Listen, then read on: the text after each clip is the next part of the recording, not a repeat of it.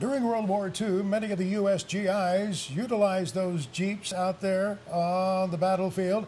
They came home then they thought, I'd like to own a Jeep of my very own. Some even farmed with Jeeps. There's a Willys Jeep that's in the Mecum Gone Farmin' Spring Classic. David Purvis is here to talk with us about it. This is a pretty one. This is one of those civilian models, uh, frame off restored. It's been upgraded a little bit. It's got that Olds 350 motor in it with the Powerglide transmission.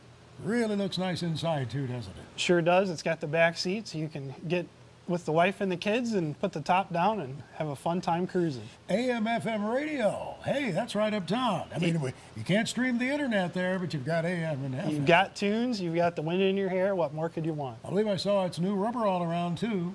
That is. Everything was redone. A Willys Jeep. It'll be in the Mecum Gone Farmin' Spring Classic.